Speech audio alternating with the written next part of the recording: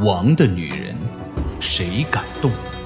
作者：拈花惹笑，演播：一刀苏苏，一种侃侃，后期制作：千雪。第九百四十六集，青云看着凤青音，拱了拱手：“贵妃娘娘，属下当然懂得污蔑之命。”不过属下也只是奉命行事罢了。颔首之后，青云两步过去，将战玉衡甩落的纸条捡起。贵妃娘娘，这信笺不知是太子殿下给您留下，还是给玲珑留下？您可需要过目。你瞪着这个对自己改口的男子，凤青音紧皱月眉。青云突然的态度改变，让他有些担心事情败露。他深吸了一口气，用力甩了甩手：“本小姐不知道什么信笺，有关一千降兵之死，一定是凤九儿所为。你身为太子哥哥的贴身侍卫，明知道太子哥哥被凤九儿这个妖女迷惑，还不助他赶走妖女，你该当何罪？”青云双手拿着信笺，递到凤青音面前。是不是凤九儿所为，还未可知。但是属下相信太子殿下能成为太子，也不可能轻易被迷惑。既然太子殿下有请，请玲珑走一趟吧。凤青音再瞪了青云一眼，脸色更加难看。谁都知道信笺是太子丢出，要是他不接，就显得心虚。可要是接过信笺，是不是代表这件事情与自己有关呢？青衣小姐，玲珑没有做什么对不起兄弟的事情。玲珑向前接过青云手中的信笺，不管是谁要陷害我，或是想置小姐于不义，我都不会善罢甘休。他打开信笺看了一会儿，将信笺递到了凤青音手中。单凭一封信，凤九儿想置我于死地。我才不怕！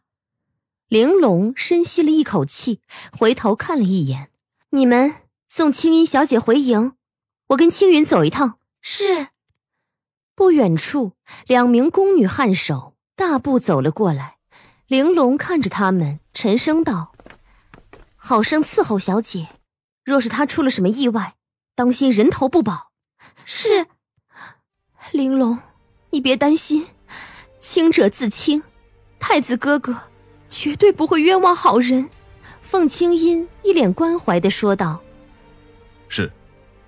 青云也颔首道：“太子殿下不会冤枉任何一个好人，所以在知道自己冤枉了凤九儿之后，哪怕他是敌军的将军，他也希望能够得到他的原谅。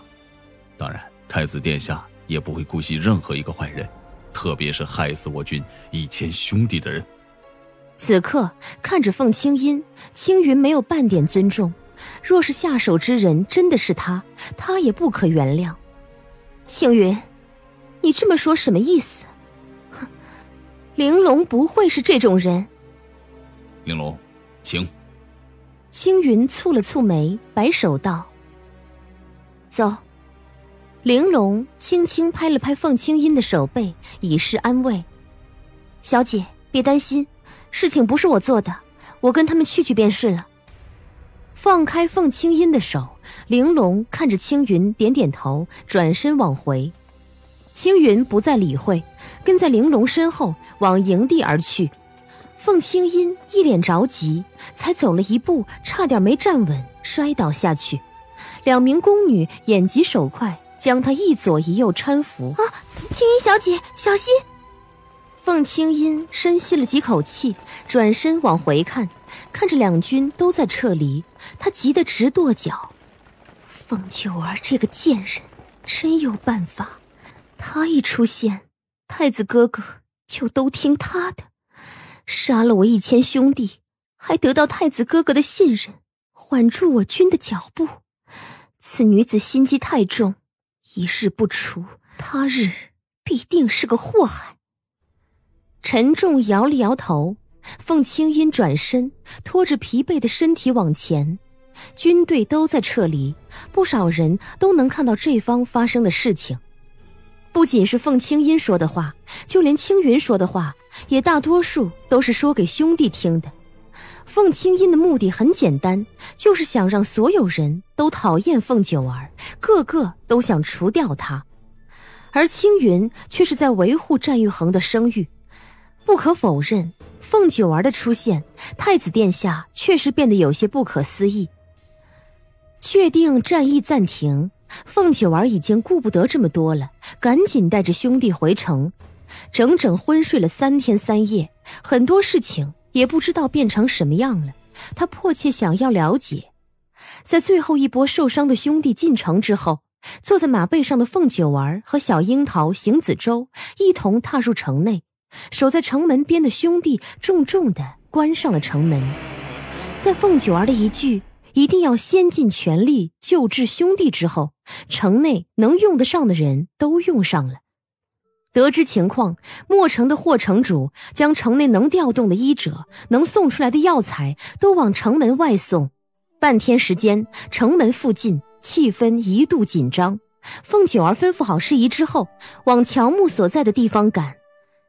在他疾步上楼的时候，刚好遇上一脸着急的小樱桃，正从一个厢房里面出来。乔木在哪儿？凤九儿还没有站稳脚步，便问道。小樱桃回头看了一眼，让开一个位置。幸好你回来了，一时之间没有找到女大夫，她也不愿意治疗。眼看凤九儿进去，小樱桃关门，转身跟上。这家伙受了重伤，还顾男女之别，有没有搞错？走在前面的凤九儿抱怨了句，推开了内房的门，扑面一阵血腥味儿。哪怕是见惯不怪，他心脏还是一阵揪痛。大步来到床边，只见全身脏乱之人似乎睡得很香。九儿，侍卫说乔木他这些日子几乎没有休息。